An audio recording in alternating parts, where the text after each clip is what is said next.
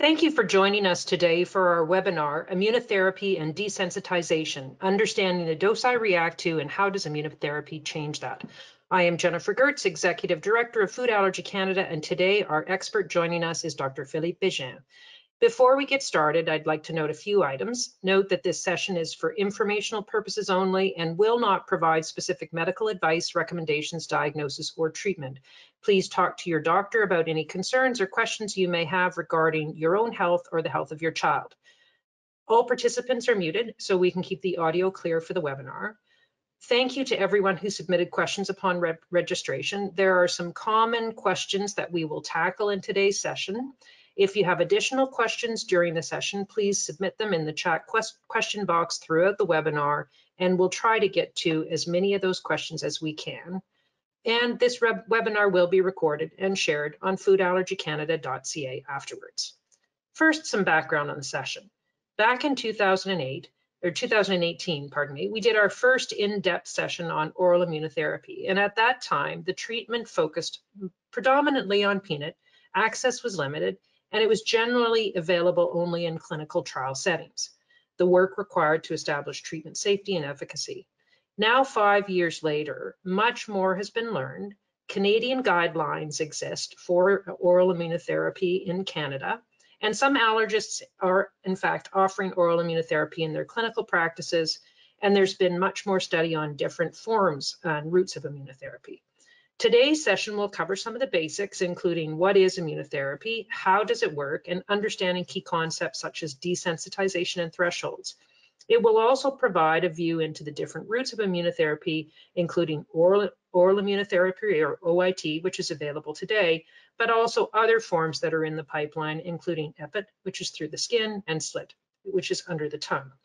To answer these questions, we are truly fortunate to be joined today by Dr. Philippe Bégin, Dr. Bégin is an expert and a pioneer in this treatment area whose leadership led to the first OIT clinic being established in Canada, and that started with a pilot project in 2017 at St. Justine's Hospital in Montreal. Dr. Bégin is a clinician scientist and assistant professor at CHUM and St. Justine's Hospital and teaches allergy and immunology at the University of Montreal He's on the board of directors of the Canadian Society of Allergy and Clinical Immunology and is a member of Food Allergy Canada's Healthcare Advisory Board. Before I turn the session over to Dr. Bégin, we'd like to get a sense of who's joined us in the listening audience. So we have a quick poll that we would like you to complete.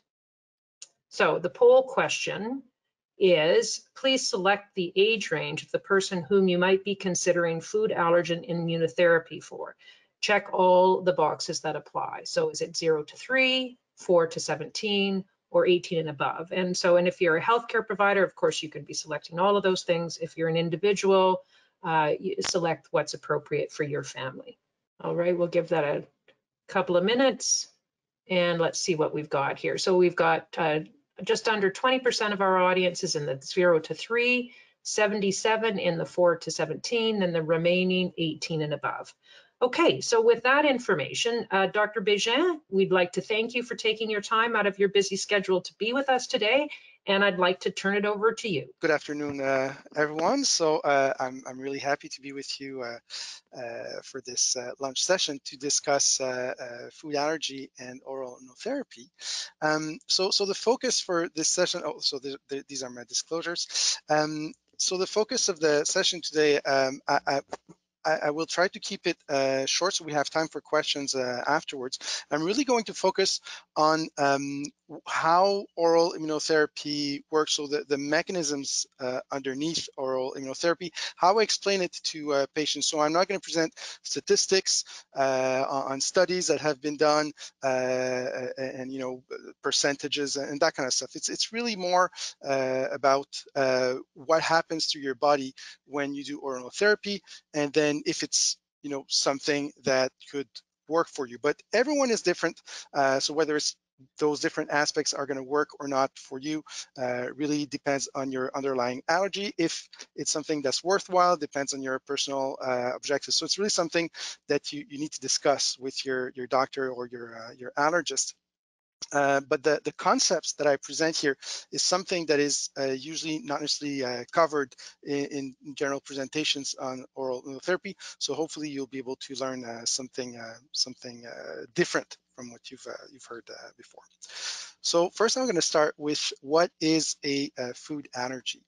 So when we consider food allergy, we, from a scientific point of view, we think um, that um, it, it, originates from a mistake of the body where the immune system sees food, which is not dangerous, as something dangerous, potentially like a parasite. So normally the immune system that's made of the white blood cells in your body, it, it surveils everything that it, you encounter and will determine what to do with it.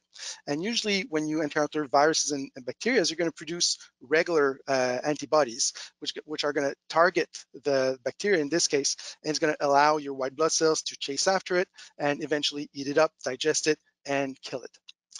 During evolution, we also started developing another type of antibodies, which are called the IgE, um, and they're made to protect us against parasite. The problem with parasite is that they're really, really big. So the white blood cells, they're bigger than the white blood cells. They couldn't be eaten up by the white blood cells. So we developed those new antibodies, the IgE antibodies, which will target the, the parasite and allow your body to attack it without trying to eat it. So your, your body's gonna create an environment that's really uh, bad for the parasite. Uh, so it's gonna irritate it and potentially create a reaction to throw it out of the body. So this antibody is the IgE, and this is the antibody that we develop against food uh, allergen. The way it works is it's going to arm a special white blood cell that you have all over your body. It's called the mast cell. And it really works like a landmine. So everyone has those white blood cells, whether you're allergic or not. The difference is that if you're allergic, you are going to produce the allergic antibody, the IgE, and this is going to arm your mast cell. So it's going to allow it to recognize what it should react against.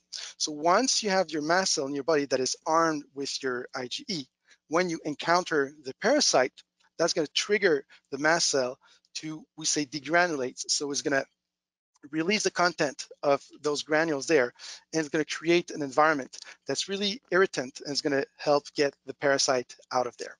So during evolution, imagine you're, you're Tarzan, you're in the jungle, and you catch a parasite in the foot. So you have mast cells there, and Tarzan has seen those parasites before, so he developed those protective antibodies, those IgE antibodies. So those mast cells are armed. So when he sees the parasite again, it's going to trigger a reaction everywhere the parasite touches those mast cells. So if you see here, there's really a hive around everywhere the parasite touched. So it's really, really itchy. You can imagine that uh, Tarzan doesn't cut his nails. So, so when he scratches, he's probably going to be able to get the, the parasite uh, out of there, hopefully. So, so the mast cells, they release histamine. That's why antihistamines work and it's going to decrease the, the, the itching. Um, but histamine has different effect depending on where you're uh, in the body. So Tarzan also has mast cells in the gut. So in the gut, what's going to happen when the mast cell releases histamine is not itching. It's going to be more like diarrhea and vomiting. So again, uh, a reaction that's going to help get the parasite out of the body. If you're in the lungs, it's going to trigger bronchospasms and close the lung. It's going to secrete mucus and create a cough reflex. So really try to throw the invader out. So that's really good when it's one lung with a parasite in it, not that good when it's all your uh, bronchus, bronchi that are, that are closing at the same time, obviously. In the nose, the eyes, the mouth is going to itch, it's going to make you sneeze, going to make you uh, tear up. So again, all those those are reflexes to get the invader out of your system. Now, the problem is that in 2023, Tarzan uh, encounters peanut and, and he becomes allergic to peanut. He starts developing those IgE antibodies against peanut by mistake. So what's going to happen is that everywhere the peanut touches is going to trigger the same reaction. So in the mouth, it's going to start itching. And when he swallows the uh, allergen, the itch in the throat. When it reaches the stomach, uh, he might vomit, he might get diarrhea in a few hours. Um, but the thing with food, contrary to a parasite, is that you're, you're going to digest it and potentially you're going to absorb the allergen and it's going to go in your bloodstream potentially get distributed all over your body. So potentially, if you eat enough and you're allergic enough, you could activate all of the mast cells in your body at the same time and trigger all those local reactions, which were really good to get rid of the antibody invading a specific part of your body. Those reactions are going to get triggered all at the same time, and that's dangerous. This is what we call anaphylaxis. So when we talk about anaphylaxis, as doctors, uh, we establish uh, rules to identify. So we say two systems that are affected. Uh, that's really just to recognize it in clinic. But from a biological point of view, when you think of anaphylaxis, it's really an allergic reaction when the allergen has gone into your bloodstream. So that would be a more biological definition of it. So when we think about anaphylaxis, we always think of this severe reactions that we see uh, in movie or that you might have experienced uh, yourself. Um, anaphylaxis is always presented as the worst potential reaction you can have to an allergen, which is true. But here's a question or a true or false statement. So and there's no poll, just answer in your head so we uh, save time. Is anaphylaxis always severe? Yes or no? So three seconds up. So the answer is that's actually false. You can have mild anaphylaxis, and that's how we rate it. We have criteria to rate it in uh, in research. So it can't be mild. The moment you have a systemic reaction, meaning that you know you have symptoms in your nose and, and your your skin, uh, but those could be mild symptoms which are not life-threatening, they're not dangerous. It can be life-threatening, it can be a severe reaction, uh, but most of the time it will remain mild or moderate. That the severe life-threatening cases are actually the exception. And we often talk about anaphylactic shock, but shock in medicine is really a term referring to your, your blood pressure being very, very low from the reaction in this case. Um, in reality, when we think of everyone that actually dies from food anaphylaxis, shock is rare. 90% of people that die from food allergy don't even die from shock, they die from the asthma attack. That's actually a bigger concern than the shock. The shock obviously can kill you, but the uh, asthma attack is worse. So, so the thing that's most important with someone that has food allergy is to make sure they have controlled asthma. Because if you have a very bad reaction and you have asthma, then it's gonna go in your lung and that's where you can potentially be uh, in trouble. So if there's a range of severity of food allergy, why haven't we ever talked about it before? Well, the thing is, 20 years ago, um, it was kind of new. I mean, food allergy has been around for much longer than this, but we have had this allergy epidemic. So we have more food allergy and it's more severe for tons of reasons we will not be going into uh, uh, today. Um, so, so there was a need for educating uh, the public and making sure people understood that this is serious and you need to treat it and treat it fast. So, so there was a lot of messaging around the fact that it's a potentially life-threatening disease. It even went into the definition of the, the, the condition. So when we talk about anaphylaxis in the definition, it said that it's potentially life-threatening even though pneumonia kills way more people than food allergy and anaphylaxis, and it, that doesn't have life-threatening in its definition, but people already understand that pneumonia can kill you if you don't don't treat it. There really was a need to uh, explain that it was and, and get that message out that it was serious. The problem with this is that now everyone thinks that all food allergies are the same, and that's not true. There is a range of severity. But now the big problem that we have is how do we define this severity? Be, is it going to be the severity of the reaction? But that's a problem because if I have a big reaction to a big amount of food, am I really truly more severe than the person that had a mild reaction to a very tiny amount of food, which I don't even react to?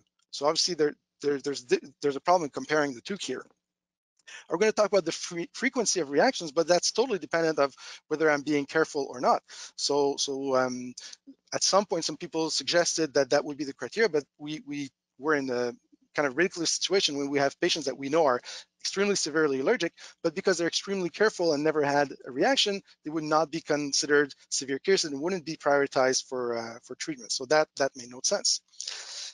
Um, in research, the way we define it, we say, well, what's the likelihood of you having a reaction to a specific standardized amount of the food. And that's how we, uh, we typically measure it. And that can be done uh, by doing an oral food challenge. So you might have uh, done that in, uh, in clinic with your allergist uh, in the past. So the idea that's a gold standard to, um, to uh, diagnose food allergy consists of actually giving the food at the clinic in a controlled manner. So we start obviously with a tiny amount of the food, which most people will tolerate. Then if that's okay, we're gonna go with a higher amount and then wait 20 minutes and give a bit more up to a full serving of the food.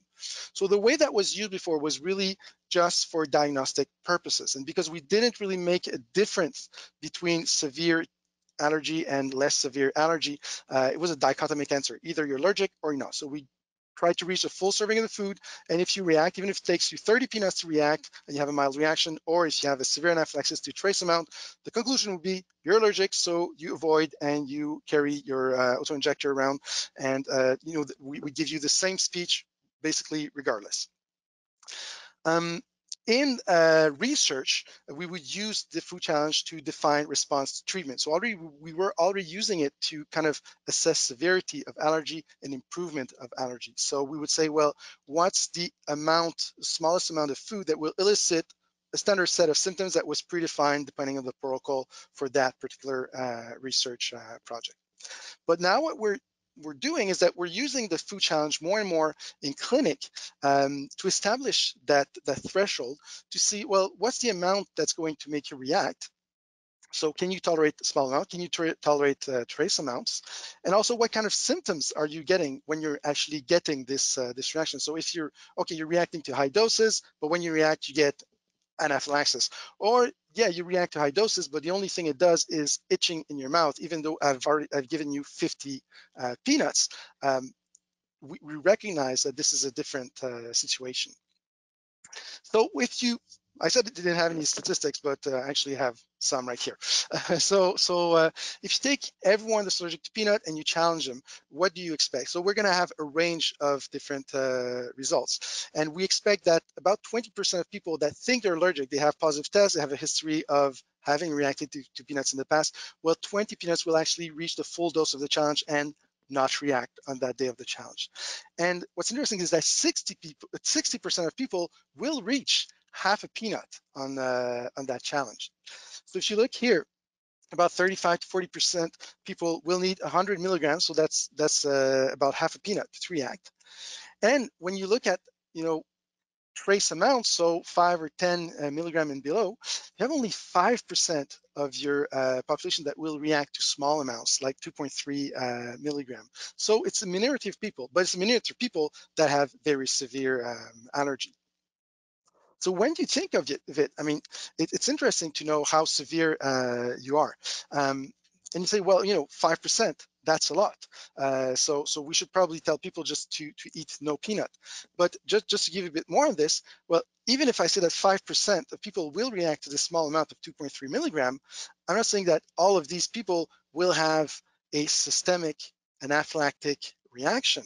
So if you take all the people that actually have a, a, a objective reaction that you can see within that 5%, there's only 5% that will actually get anaphylaxis at that small dose. And within those that get anaphylaxis, it's important to know that you know anaphylaxis is not necessarily severe. 80% of anaphylaxis will resolve spontaneously without any treatment. We know that from our experience of all those patients that don't give themselves epinephrine and show up at, at the uh, ER and eventually just get better on its own. And even in those that do get epinephrine, most people will respond to one epinephrine. Um, so so the, the, the, the risk of reacting at a very small, like 2.3 milligram and dying from it is less than one in a million. That's taking people allergic with confirmed allergy to uh, peanut. So it really helps, puts it in uh, in perspective. And and knowing your threshold, your risk, uh, will help you.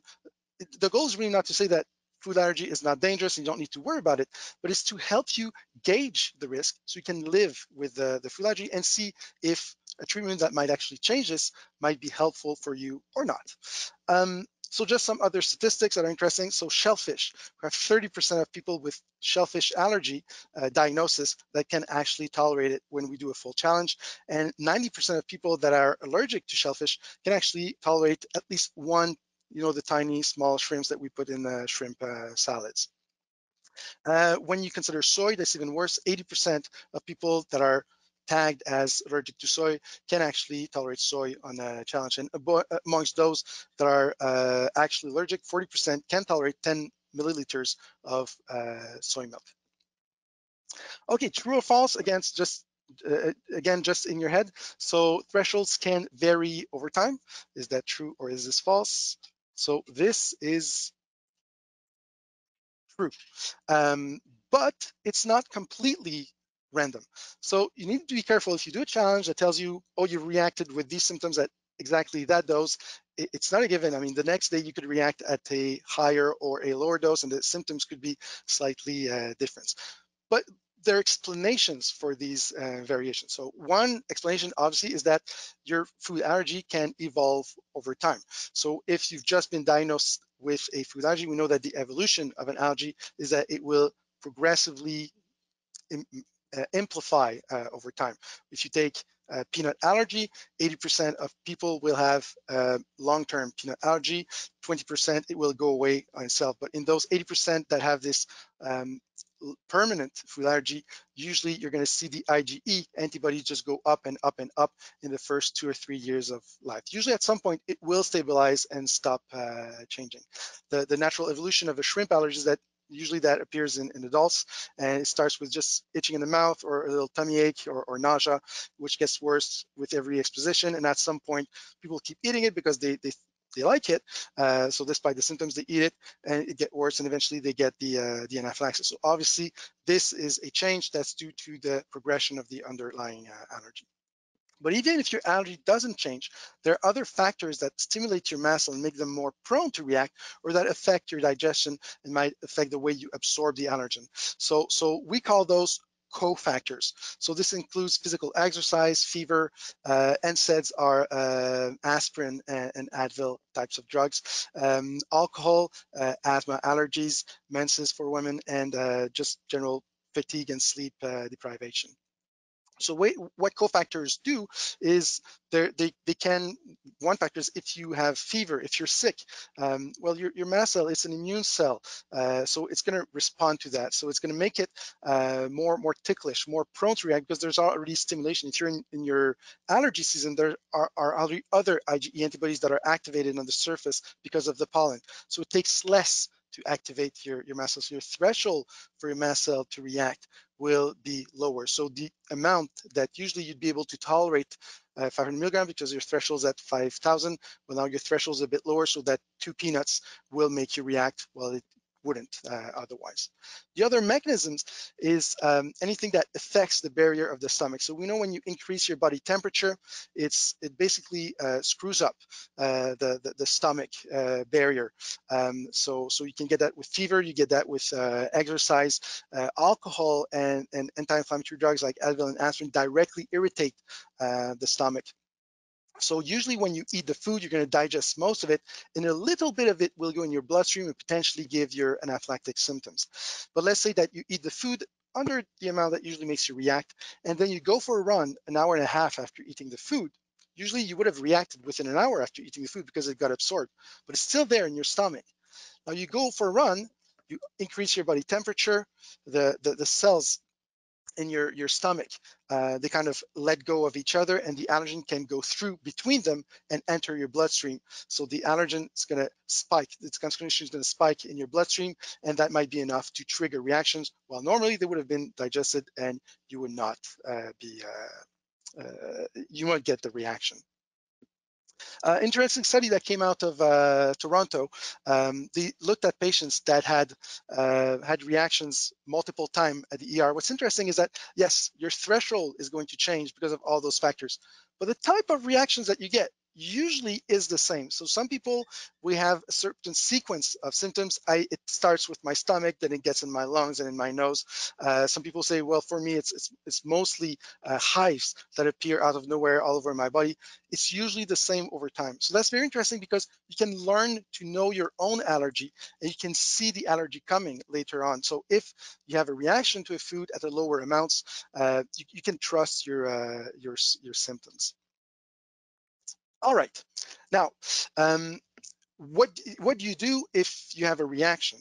So so the mainstay treatment for an allergic reaction, you know, is epinephrine. And the reason we want people to give epinephrine, there's two of them. One is that it treats the symptoms of anaphylaxis, but the other one is that it turns off the allergy cells. It turns off the mast cells.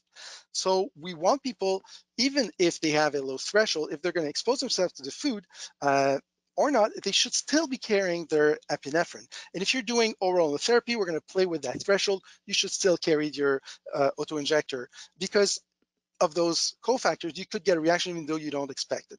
So how does epinephrine work? Um, by turning on those, those mast cells. So let's say that you, those are the mast cells that I put on the, the body right there. So let's say you're eating uh, egg. So what's gonna happen is that everywhere it touches your mast cells is gonna start itching in your mouth, you get your tummy ache. So you're gonna have your mast cells react. Um, that's gonna give you your local symptoms. Then at some point, you're probably going to start absorbing the allergen. It's going in your bloodstream. When it enters your bloodstream, you're going to start getting systemic symptoms. You're going to start getting mild anaphylaxis. So at this point, the moment you know that the allergen in your bloodstream, that's when you want to give the uh, the epinephrine. Because if you wait more, then well, the allergen is going to keep getting absorbed, and you're eventually going to get that severe anaphylaxis. Once the allergen is out uh, uh, sorry, once the histamine is out of the mast cells, you can't put it back in. It's too late. So if you give you epinephrine, you're going to help with the breathing. You're going to help with your, your, your, your blood pressure, but you wasted your chance to actually stop the reaction to prevent the, the, uh, the mast cells from degranulating. Now let's repeat this and say the moment you get those systemic symptoms, you're at the level of a mild anaphylaxis right now, you give the epi.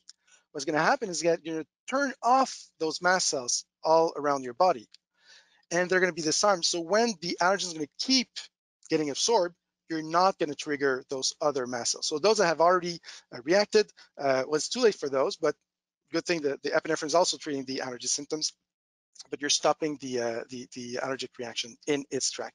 So that's why why now we're really focusing the message on, you know, give the epi, epi is not dangerous, and don't bother about should I go to the ER or not. Just start by giving the epi, and then afterwards you can decide whether you go to the ER or uh, or not. Okay, so now oral immunotherapy. What's the point of it, and how does it work? So OIT is going to do three things to your body. The first thing is that it consumes the antibodies on your uh, your your your mast cells. So this is um, the surface of your mast cell, and the um, antibodies are there, and they can see the allergen. So when you have a bunch of antibodies that see the allergen, there's going to be a signal given to the uh, cell because of the, the the tails of the the receptor in the cell trigger uh, signal for your, your, your mast cell to activate and release the, the histamine. The idea is that if you give only a tiny amount of the allergen, the signal is not going to be strong enough for it to react. So the idea of, of OIT is that you're going to give small amounts of the food that are enough to stimulate your mast cells, stimulate the IgE antibodies on your allergy cells, but not enough to give a reaction. And the idea is that regardless of whether you've made your mast cell react or not, those antibodies that you uh, use will be eaten up by the cell, digested, and then you recycle the anti uh, receptor for the antibody on the cell surface and replace those with new IgE antibodies. So you say, well, that was completely useless. If you just replace them with the same antibodies. But that's the thing it's not necessarily the same antibodies. It could be an antibody to peanut. Again, let's say that 20% of your allergy antibodies are against peanut, that's what's gonna happen. But it could also be IgE antibodies against anything else you're allergic to. So what that means is that if you expose yourself progressively to small amounts of peanut, you're gonna start getting rid of those antibodies against peanut and replacing them progressively by other allergy antibodies in your mast cell. So eventually your mast cell is going to be less sensitized to peanut and not react as much to peanut. So you'll be able to give a bit more of your allergen. And then by giving more of your allergen, you're going to disarm it even more. So the, principle of uh, OIT is you start with small amount and you start disarming your allergy cells progressively and give more and more and more.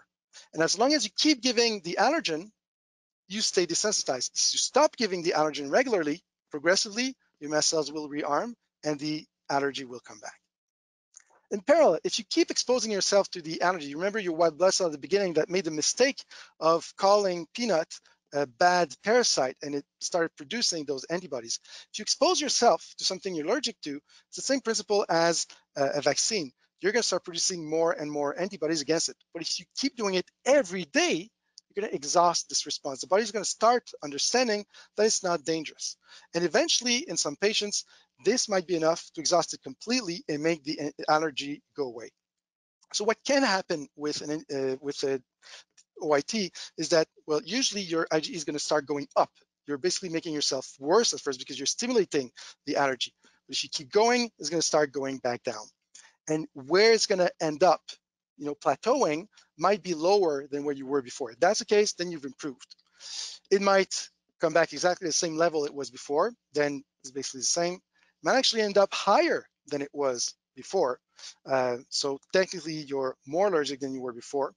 And what we see in infants, when you start very early, soon after the diagnosis, is that you're gonna suppress the IgE and it's gonna go down uh, rapidly. So that's why we really want to start oral therapy as early as possible in children before the allergy had time to expand itself because it's easier to sensitize when you don't have that much antibodies. But not just that, before you've established that immune memory, you're able to re-educate your immune system and suppress the production of those, uh, those IgE. And the third thing that's gonna happen to you when you do uh, oral immunotherapy is that you're gonna start producing protective antibodies. So those antibodies will appear pretty much regardless of those other situations you're there. Pretty much everyone that does oral therapy or other type of allergen therapy will start producing those. So what do those do? Basically, they do nothing. They just stick to your allergen and do nothing. But immunologically wise, I mean. But that's actually a good thing because it's competing with your uh, with your IgE antibodies. So those are mostly going to be in your bloodstream. So it's not really going to help with your local symptoms. If you have IgE, you're still going to react in the mouth. It's going to itch. Still going to react in the stomach. It's going to hurt. Uh, but when the allergen is going to enter your bloodstream, before reaching the mast cells in the tissue, it has to go through your, your blood, which is full of IgG4 antibodies against peanut. So the IgG4 will neutralize the allergen. It will take up the spot where usually the IgE would recognize it and prevent it from reaching the, uh, the mast cells. So typically what we see in people that have high IgG4 and stop oral therapy, the itchiness will come back in the mouth, the tummy aches will come back, the nausea will come back, but their threshold for having anaphylaxis will actually be much higher. So small amounts, which used to trigger anaphylaxis before, don't tend to tr trigger anaphylaxis anymore, don't tend to trigger systemic symptom. And if they keep eating the food, well, eventually you might saturate those IgG4 and you will eventually reach the mast cells and get your, uh, your, your anaphylaxis. But for accidents to small amounts, um, that can actually be an outcome that, that's good for patients knowing that, you know, if I get an accident, I'm gonna get the local symptoms, but my likelihood to get a full-on anaphylaxis is actually very low. So that, that, that makes me feel safe if I want to travel uh, or if I just want to taste a food that I'm not 100% sure uh, hasn't been in contact with, uh, with, with an allergen. So biologically speaking, uh, what's the potential outcome of a desensitization or an oral therapy. So the way I presented, there's the desensitization of your allergy cells. So that's really dependent on you taking your dose every day. It's consuming your uh, uh IgEs uh, on the, uh, the, the allergy cells. I, I, I call it partial when people say, well, thanks to that, I'm able to tolerate a bit more of my allergen. I'm able to increase my threshold. I used to react to trace amount. Now I can tolerate traces. I eat half a peanut a day, I'm fine there. If I eat five peanuts, then I'll react. So I'm not completely desensitized. I call it partial desensitization. Or now I eat half a peanut a day and I go in clinic and we eat 50 peanuts and I still don't react to that. I call it complete desensitization. Compared, uh, we, we call it stable when it's easy and uh, you, you can stop you can skip a day or two and the allergy doesn't come come back. I call it unstable when the moment you skip a dose, uh, reaction starts uh, coming back. And it's really something that's dose dependent. The more food you eat, well, the higher you're gonna push your threshold. The second mechanism, making your, your IgE uh, change, uh, we really see that mostly in infants, suppressing your, your IgE antibodies. The final result is really difficult to, uh, to predict beyond age and you're starting IgE. If you have low IgE, it's more likely that we'll be able to suppress it than if it's really high. Um, and interesting thing is that it does not seem to be dose dependent. Um, the jury's not out on the minimal amount that you need to take to, to get the effect. But before we used to aim for like 10 peanuts or, or 17 peanuts a day to maximize this effect. Now we know that, you know, there's not much difference there. One peanut a day seems to do it. And there are studies now looking at one peanut a day. And what we're getting from the uh, sublingual and epicutaneous immunotherapy routes, which consist of getting either a drop of uh, peanut extract under the tongue uh, every day, very, very diluted, or a patch, like a nicotine patch, but peanut. So there's basically one thousandth of a peanut in a patch that you put on the skin every day. You expose yourself, you get the, the same effect on your, your IG that you would have with oral therapy. Is it as intense, uh, as effective? We don't know because we don't have studies that compare uh, the two head to head, but it's the same type of effect they get on changing your IgE and IgG4 uh, response. Uh, so even with those tiny, tiny uh, doses. So if you want to reach high doses because you want to reach higher threshold through desensitization, but if your goal is really to re-educate your immune system in the long run, um, the dose doesn't seem to, uh, to matter. It's more being regularly exposed that's important. And then the third mechanism is developing those specific protective antibodies in your uh, bloodstream. And we see that pretty much in any patients, older like younger, severe like milder uh, allergens, and regardless of the route that we take to do this sensitization. Same thing doesn't seem to be uh, dose dependent. Um, it's something that persists over time. If you stop your desensitization, you will still have your IgE. They're, they're, they're, being produced by other white blood cells. But how long will this stay? Will it still be there in five years? Uh, we don't know. Uh, we don't we, we don't have uh, the experience yet with enough patients in which we follow them over time uh, to know. Uh, so what we I tend to tell patients that stop oral therapy. Um, if we can follow the IgG4 in clinic, that's great. If we don't, I have them keep exposing themselves periodically just to make sure they're not losing that protection. Okay, so maybe we'll just finish with uh, three three cases, uh, just just to see how how these concepts could apply in a discussion where you're considering uh, oral therapy uh, or not. So here we have Catherine. She's uh, eight years old. She's been allergic to milk since pretty much always, potentially birth we don't know. Um, she had a few anaphylaxis to other food, but nothing major to milk. Uh, she has a mild but very well controlled asthma, and she's mostly interested in milk OIT uh, right now because this is the allergy that's causing her most limitation in her day-to-day -day life. Her IgE levels are at 16, uh, and her total IgE level is close to 1,000. So when we look at her, she has a low ratio of her IgE antibodies over the total. So that means that every time you're gonna flush an IgE antibody on your mast cell, you have almost 99% chance of replacing it by another antibody. So that, that should give us a stable uh, desensitization. So in this case, I would say that this is a good candidate for desensitization. Um, how high will we reach? I don't know. There's a lot of protein in milk, uh, but reaching at least a certain amount of protection uh, that's actually better than the threshold, increasing the threshold that she can tolerate right now. I'm very confident we'll be able to at least do that. Um, am I confident that we will be suppressing the IgE, re-educating it? Uh, that's unlikely. Uh, it might improve in part, uh, but to suppress it completely, usually we only see that in infants and uh, in, uh, in toddler. So we're not looking, we're not thinking about curing her and not really thinking about inducing remission uh, either. Curing, we usually we don't like this word, but we, we would say someone that where the edge is completely gone and never comes back, that would be a cure. Remission is we, we put you in a state where you can eat the food, stop desensitization, the reaction doesn't come back, uh, but you might still have some IgE. We, we like the term remission because it implies that there might be some white blood cell that's gonna come back and the allergy could come back eventually. And we know we're gonna be able to, to generate IgG4 protection in, uh, in her case. So that's how I would present it to them. Then we would say with regards to her objectives, what she's looking at, um, and her, her, her, her, social context, if it's a good idea for her to undergo OIT uh, or not. Now we have Liam, that's a different case. He's only nine months old. Um, he had a recent accident to raw milk. Uh, he failed a baked milk challenge. So uh, his IgE against milk is also low, has total IgE at uh, 2000. So technically a good candidate for, um, for, for, for milk desensitization. And the question with the parents is, should we start milk OIT right now or wait to see if there's spontaneous resolution? Because you know, with milk allergy, 80% of patients will outgrow it spontaneously. So that's a discussion we'll have with uh, the parents. We know that, so the big question is, if you wait, there's 80% chance of it going away spontaneously. So we might be doing OIT for nothing in this patient. But you need to remember that if you are going to act, you want to do it as early as possible because the more you wait, if you're in that 20% which have long-term permanent uh, allergy, you're giving time for the allergy to expand and amplify, and you potentially are losing this window of opportunity to induce your uh, your, your, tolerance. So really, in this case, uh, for me, this is a good candidate for desensitization. It's a good candidate to potentially try to change the natural evolution of the allergy and suppress those uh, those IgE, and we'll be generating IgG4. So really, the question is, how do you feel with the the possibility of potentially doing it for nothing versus uh, not taking the risk of missing that uh, opportunity. And then I have uh, Dylan here, who's 21 years old, has cow milk IgE at 41, but his total IgE is actually pretty low.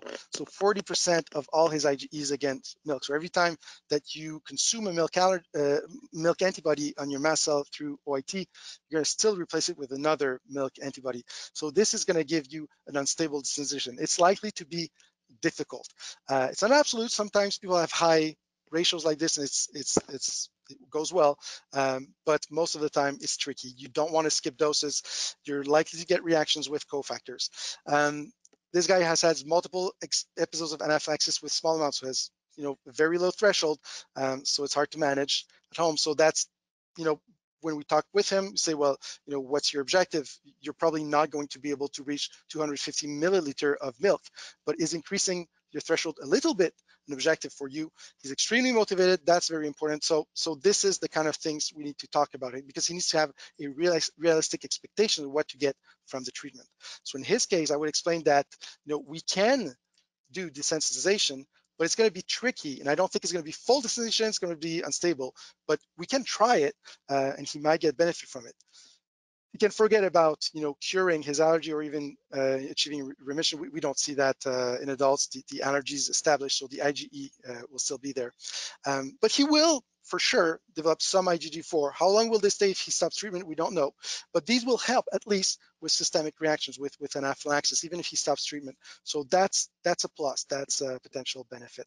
And then, well, we'll go from here and we'll we'll just talk and see if that's something that's uh, that fits his personal objectives. And I just want to figure, finish with this slide uh, on future treatments. So so right now we only have basically two options to offer patients. Either you do nothing, uh, well, you avoid the food, obviously, and, and you're always prepared with your epinephrine to treat if there's a reaction, or we do oral therapy. Um, there are new things that will probably come up in the next year or, or, or decades.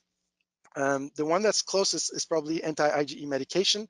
Uh, you might have heard of it, is Xolair. It's quite expensive. It's a biologic medication. It's a, actually an antibody that's targeting your allergy antibodies. So it's preventing them from attaching to you from arming your uh, your mast cells at high concentration. It can also take them off the mast cells. So it's basically inducing a desensitization of your mast cells pharmacologically.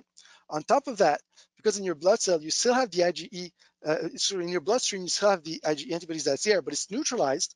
So that can actually neutralize the allergen if you eat it without activating the mast cells. You're kind of creating artificial blocking antibodies, uh, artificial uh, IgG4. So when you think about IgG medication, you want to compare it with oral therapy, what it does is it also disarms the mast cells in a pharmacological uh, manner. Um, it's not going to do anything on your, uh, it, you're going to get that blocking effect for anaphylaxis, but it's not going to do anything on your underlying allergy. So if you take that medication, the idea is you, you take it for the long term. When you eventually stop it, your allergy is going to come back uh, afterwards. Um, other treatments that are coming, uh, sublingual and epicutaneous immunotherapy we've mentioned before. So it's the same principle as oral therapy, but instead of eating the food at higher doses, you really give only tiny amounts of the food uh, through drops under the tongue or a patch on the skin. So what's it gonna do to your uh, body is basically the same thing immunologically wise as the, uh, the OIT with regards to your blocking effect and re-educating your IgE. So if you're doing it in an infant or toddler, uh, you're probably gonna suppress the, the production of your allergy antibodies. Uh, but the downside is that because you're not giving high amounts of the food, you're not gonna get this increase in the threshold in the short term of your, uh, your allergy and you're you're not going to reach very high, as high amounts as you would have if you were actually eating one peanut every day. Uh, but if your goal is to work on the uh, underlying allergy, uh, that's uh, that, that's uh, that, that's the way to go. Um, another thing is combining the anti-IgE medication with your OIT. Um, this is basically going to do the same thing as doing uh, OIT, uh, but it's probably going to make it safer. There are people working on modified allergens that don't react as much. And then there's combining potentially studies looking at combining oral therapy with immune modulators that will increase the chance of developing uh, tolerance and modulating your response. And so this is really uh, just research at the moment, but this is really for the adults, which can potentially hope in the future that will have treatments that will be able to induce remission for them or, or cure the allergen, not just desensitize them. All right, so that was a lot of biology, I know, uh, but but that that was the goal. That was to be different from what you've heard before. If you have more uh, questions right now, uh, more about uh, how that applies to clinic, uh, I'm happy to uh, to answer them now. Great. Okay. Well, thank you, Dr. Bégin. I invite you to turn on your webcam and I'll do the same. Okay. That was quite a science lesson. Thank you. And absolutely, um, you know, an approach that's really helpful to patients to be able to understand what's actually happening in my body. And so I want to start there and just um, restate or have you kind of restate the, you know, what are the three things that OIT, and we'll focus for the time being on oral immunotherapy, are doing in your body? You stated these are the three things that are happening. Yeah. So give that back. Thing, when you expose yourself, it's going to consume the allergy antibodies on your allergy cells. So by consuming it, it increases your threshold. If you keep incre increasing that dose, it's going to keep increasing the threshold. If you stop eating the dose, you're going to rearm and you're going to lose that protection. So that's the first thing. That's the sensitization. Right. The second thing is going to re-educate your allergy, your your um, your white blood cells, and so over time, you're probably going to start producing less antibodies against the allergy. So this is something that we do see in the infants and toddlers before your immune memory is established. It's not something that we see in older children. It's not something we see in teenagers and adults. And the third thing that we see in all age groups is that it's going to stimulate your immune system to start producing other types of antibodies, which protects you against anaphylaxis by producing competing antibodies. They're in your bloodstream and they neutralize the allergen when it enters your bloodstream. So that doesn't do anything for local symptoms in the mouth and the stomach, but it decreases your risk of having anaphylaxis at small doses. And that's something okay. that's going to remain if you stop eating the food because the antibodies okay. are there. Maybe not for five years, but at least in medium term. Okay, so now then when you were going through the cases and you were talking about the three different, uh, the eight-year-old, the 24-year-old, and then the the uh, one-year-old, um, and you were you were sharing with us specific IgE as well as total IgE. And you were saying, well, you know, in the older patient, the, the ratio between specific IgE and total IgE suggests that, you know, this is an, an opportunity for kind of a modulation. So can you explain to us just that concept, okay? And, and also how people would know what their specific IgE and total IgE picture looks like. So the specific IgE is when your allergist does the allergy test in the bloodstream. That's what they measure. They measure your antibodies against peanut or milk. The higher it is, um, the higher your chances are of being allergic, obviously. If you look at population-wise, the higher the amount, the more severe patients uh, will be when you do a, a, challenge. When you're thinking about desensitization, you don't just want to see, well, how, where's my threshold, how severe I am. You want to see how likely am I to be able to disarm my allergy antibodies. So that other factor that's important is what are my other allergy antibodies? Because when I consume it, it will get replaced. If it gets replaced by the same antibodies, we're going nowhere. So that's why you want to look at the total of allergy antibodies also and say, well, amongst all my allergy antibodies, what's the percentage of those antibodies which are against, for example, peanut? So if 1% of my peanut antibodies are against, uh, my, my allergy antibodies are against peanut, well, that's uh, uh, that's good because every time I get rid of a peanut antibody on a mast cell, there's 99% chance it won't get rearmed with a peanut antibody. It's going to get rearmed with some other antibody. So that gives you a stable desensitization. So that's a good factor. Tell me it's, it's probably going to be easier than that other patient where half of their antibodies are against peanut. It can still be done. I mean, it, but you know, you don't have a lot of wiggle room uh, because it's it's going to come back very fast the moment you stop eating the food.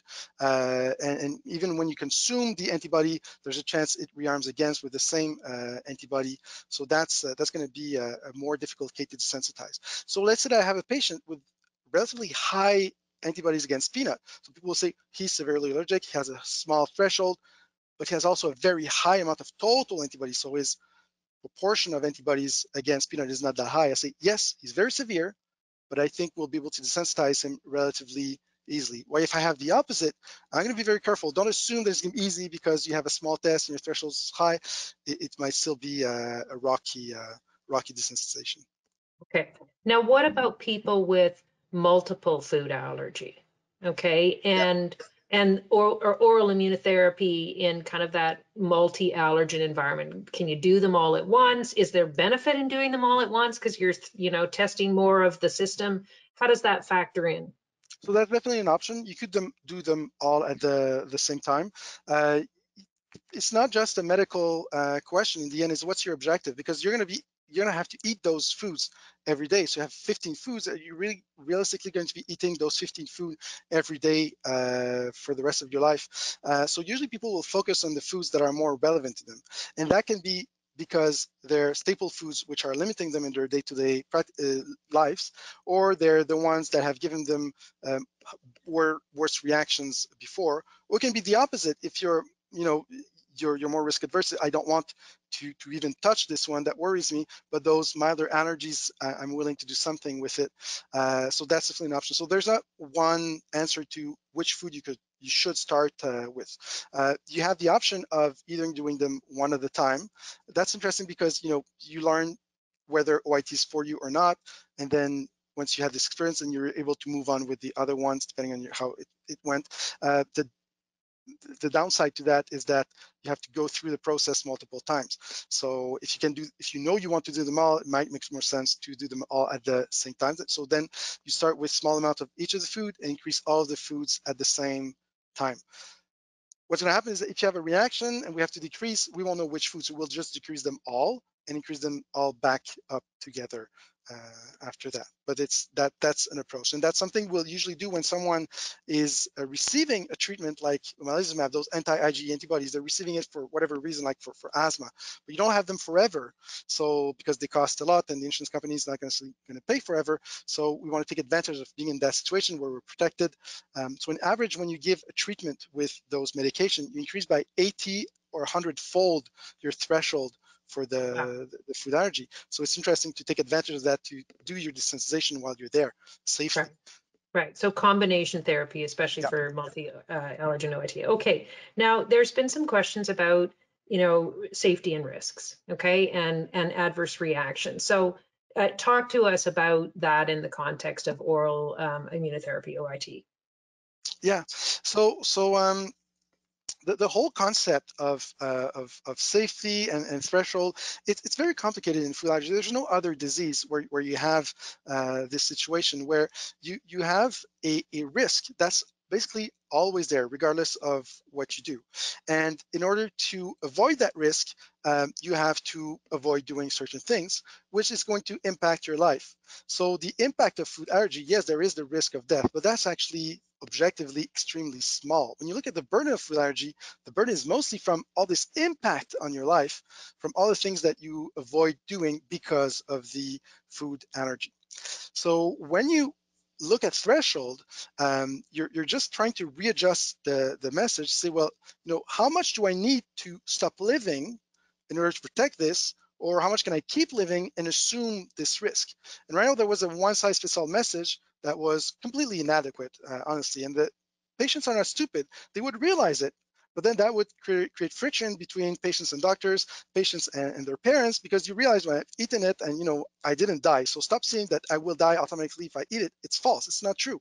So we need, we need to tell the truth to, to patients. You know, we're worried that people might not understand and have risky behaviors, but you know, we need to engage in that discussion.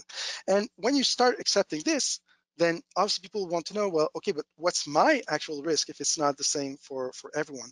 So that's why we want to start incorporating threshold in the practice, uh, start looking at it, recognizing that it's not an absolute and it can change, but from my experience, patients are smart and they understand this message. Doctors are are, are more risk adverse because they, they don't want uh, patients have accident and it being their their faults, which obviously uh, I understand. But we need to, to find a, a, middle ground when you, you, know you give the patient autonomy, you give them the information, and you accept that they can make decisions based on that uh, information. From my experience, patients love having this this information not necessarily because they will go and have the food some of them, right. after doing the threshold challenge or immunotherapy, which increases thresholds, they still avoid exactly as they were before. But knowing this, it still changes their life because now they know. So the issue with food allergy can be uh, summarized in one word, and it's control. You lose control over your life. With threshold testing, with oral therapy, is you have the control over your food allergy instead of the, the reverse. Okay, so now uh, we've got about five minutes left. Are you okay, Dr. Bégin, if we extend this by about 10 minutes to get to a few Of more course. questions? Okay, Of terrific. Thank you. So on this question of thresholds and understanding the evolution of your allergy, since it's not, uh, we, we don't know that it's constant, you know, what do you recommend people uh, do with their allergists to better understand where they're at? What what's the what's the practice, and is that practice different if you're an adult with a persistent allergy or a child? What's your what's your thought on that? So the, the biggest issue we have in allergies is an issue of access. So first of all, having an allergist, that's already uh, an issue. Even if you have an allergist, oftentimes uh, they don't have access to, to, to hospitals or, or a, place to actually do the, the, the challenge. So not all allergists offer oral food challenges uh, or they do, but there's a waiting list of two years to to get it. So that that's that's a systemic issue that that we have uh, that that we need to work on at a higher level you know what we can do. Uh, but but let's let's forget this issue and if, if it's available and you're you're able to uh, to do it um, so you, you need to discuss it with your allergist they're not necessarily all going to offer it uh, to you even though it is an option because there's a waiting list so so they they focus on those patients which are, are looking for for diagnosis uh, but if it's something that's important to you well just bring it up with your allergist see if they're willing there's a difference uh, between a patient that's asking me for a threshold challenge and me telling a patient they should get a, a, threshold challenge. For, for, for the allergist, if, if you ask for it, then it's already clear to them that, okay, you understand that I, am not telling you you're not allergic by doing this. You understand that you're probably allergic and you just want to learn, and this is something that's obviously useful for you. You're asking for it. Um, they might be more open to it uh, than you think, even though they're, they're not offering it, because a lot of patients don't don't worry about it. So, so you're not going to start uh, creating more work uh, than, than you need to. So, so, but, but engage your allergist in that uh, in that discussion. Um, there's more and more literature that's coming out in, in the allergy uh, journals um, that you know are are are mentioning this, so it's it's becoming more and more uh, standard uh, practice. I wouldn't say that it's standard now because it's, it's not that available, uh, but I would say that most people are open to the concept uh, but we hope to be able to change our practice in the coming years to make it more and more available to, uh, to patients and make it normal as part of the, the, the normal practice. Okay, I've got a few more uh, specific questions. So there was one that came in regarding cofactors with menses. Is that something that during, if you're undergoing uh, immunotherapy, oral immunotherapy, if a young woman is menstruating, do you give different advice during that? How much does that cofactor play into reactivity? Yeah, that, that's a good point. So before I would systemic, um, uh, systematically uh, talk about it. Um, now from experience, uh, I, I, mention it so they know it exists, uh, but I tell them it's, uh, in my experience, it's only like 25% of women for whom it, it plays a role. So so I, if, if it's an issue, then we'll, we'll, we'll, we'll work on it, but don't assume it's gonna be a problem right off the bat. Okay, um, any evidence on the use of probiotics uh, with oral immunotherapy and its uh, effectiveness? No, so, so that, that, was a, a, good hypothesis that maybe it would help um, because in, in, in, mice, we know that uh, the, the, the, gut uh, microbiota is going to affect your becoming allergic uh, or not. Um, so there was this, this study where they combined the two, but there wasn't a control group not getting the uh, probiotics. So it was peanut with probiotics versus nothing. So obviously it, it worked, but we didn't know if the probiotics were really doing something. And then afterwards there were other studies and they didn't show that the probiotics uh, changed something. The thing is, once you have an established allergy, it's very hard to erase your immune memory because part of your immune memory is in your bone marrow. It's there and it's just the IgE is being produced and there's not much you can do to change it. That's where we we're looking at immune uh, treatments that will eventually be able to go there, um, but that's really for the, the, the future. And that's okay. why you want to act earlier while your immune response is still being building up but it hasn't installed itself in your bone marrow Right. for life yet. Got it. Okay. Three more questions. Immunotherapy, does it work for pollen food syndrome or some people call oral allergy syndrome? Yeah, it works. Um, your your the issue is mostly in the mouth because that's where the allergen is. Uh, but there are protocols in Europe uh, where you eat an apple every day and it's just going to consume the allergen. Uh, it's a fruit, so you need to be willing to eat fruit uh, every day. Uh, but uh, yes, it, it, it, it, also works. So that's something we focus on because we have long waiting lists, so we focus on the more anaphylactic types. But uh, yes, it works. Okay. Um, now, in this is a few uh, uh, looking for some tips on um, mixing food allergens, like when you've got you know a child that doesn't like the taste taste of nuts. Like how do how do you deal with getting the allergen in when there's a taste? So, uh, so that issue. was such a big issue that uh, now we have a nutritionist full time dedicated just to that.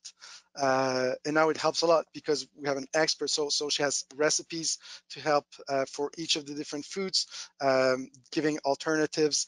Uh, you know, one thing we need to be careful is when we consider, oh, it's a picky eater, it's a picky eater. They, they want so that that's the thing when when when kids are very young, we we want to go early um, but there's sometimes just orality issues. They're not there yet in their uh, development. Um, so, so, so this makes it uh, this makes it uh, harder. Um, a nutritionist can help you with this, a pediatric nutritionist, because they're they're used to dealing with the, these kind of uh, things. But you need to be creative. Uh, one thing is we always think about sweet stuff to mask taste, but don't forget about savory. That that you know for some people um, savory will do it. It will mask it much better than than sweet stuff. Okay. And the last thing is around access. Okay, is that you know how do we? It, seems like there's different options by province, and I'm not sure that uh, you can speak to this necessarily. But what's your recommendation to people on this front? And then I I'll also offer some of Food Allergy Canada's perspectives on this as well. Yeah, that, that's a really big uh, challenge. So yes, every province is uh, is different. Um, th th there's a question of you know th there's not enough allergists around to treat everyone with allergies. here, not even just food uh, allergy. So so if, if you just look at the province of Quebec where I'm at, there's now a system where family doctors can refer in a portal uh, to. So so that's just referrals coming from family physicians. There's 100,000 referrals in waiting for 75 allergists in the, the province. So that's not that's not working.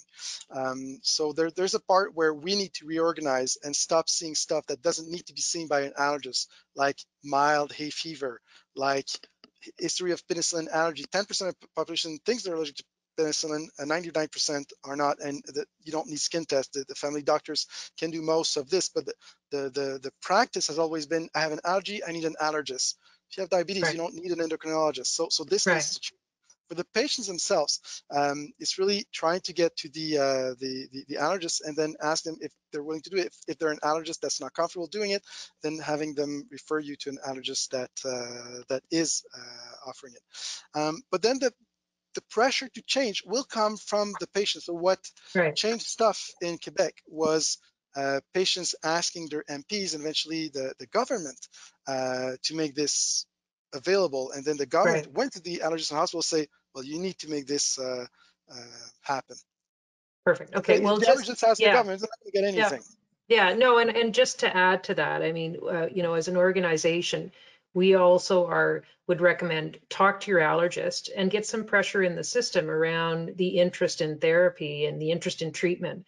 Um, and we are going to be in 2024 initiating some advocacy campaigns. We've got an update of our National Food Allergy Action Plan that will be focused federally, but we're also um, looking to do some things provincially. And to that end, in the survey that we've got post this webinar, we're asking you some questions about your challenges in access and your level of interest on advocacy. So um, I think it's, uh, you know, it's great, Dr. Bégin, that you've been able to spend the time and really help us understand the science behind this. And it, gi- it gives us the confidence of exactly how the therapy and how the treatment can actually make change. So um, appreciate your time we I, I, we've got five past the hour here. I've got a couple of slides, but I wanted to thank you for uh, taking the time to uh, to uh, take us through the science and the effectiveness of this.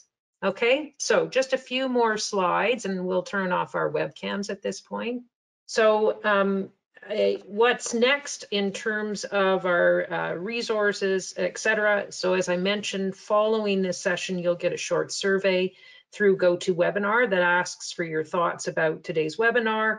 We'd like you to take a moment to complete that and also to um, give us some insights around access uh, challenges that you might be having.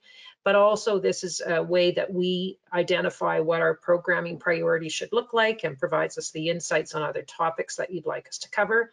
We're planning our 2024 schedule now. And so, you know, if there's some topics that you want to learn about in the new year, please let us know.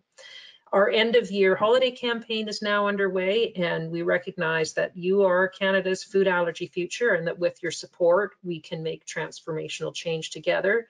So visit foodallergycanada.ca backslash donate before the end of the year to get your tax receipt. We can't do this important work advocating on your behalf and offering free educational programs like these without support. So thank you for your consideration. Visit foodallergycanada.ca backslash holidays to get some access to our free holiday resources like our party hosting tip sheet to help you and your family manage the holiday with confidence. And we also wanted to make you aware of a current research study that's happening right now for children with peanut allergy.